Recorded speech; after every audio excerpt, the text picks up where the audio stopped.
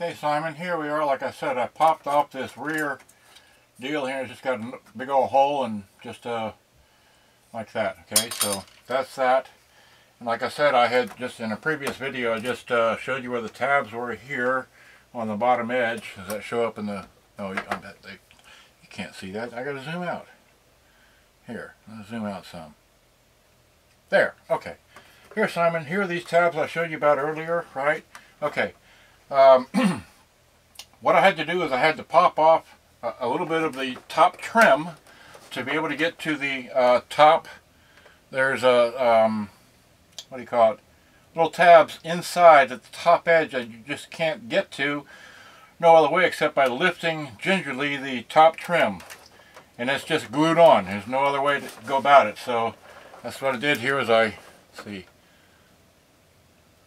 got a little screwdriver into it there.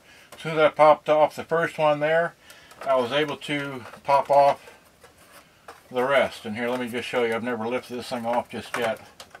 But, voila. There we are. So I haven't even taken pictures of this yet, but I've got the back off and it just snaps in. And here, let me, while I got it going on, let me see if I can show you the holes that you need to dicker with. Let's see here. I can pull on this just a hair. Okay, and then articulate, well here, I'll just point with it. Here's the, here's the one, which I have the screwdriver through. Another one. Then, I don't think that's one. But then here's one, and then here's one. So any one of these four tabs, I don't know about up the center because I can't see them too well, will allow you to get the rest of the back off and be able to see like what I'm seeing here. Okay?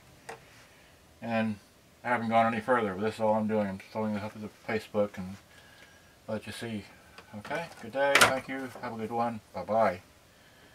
Hope you enjoyed. Oh, let me zoom out a bit. Hang up on a bed. Oh, that's it as far as it goes. Okay. And, uh, oh yeah, like I always have with me, wherever I go, is my, you know, one of these with, uh, yeah, we can make this a commercial.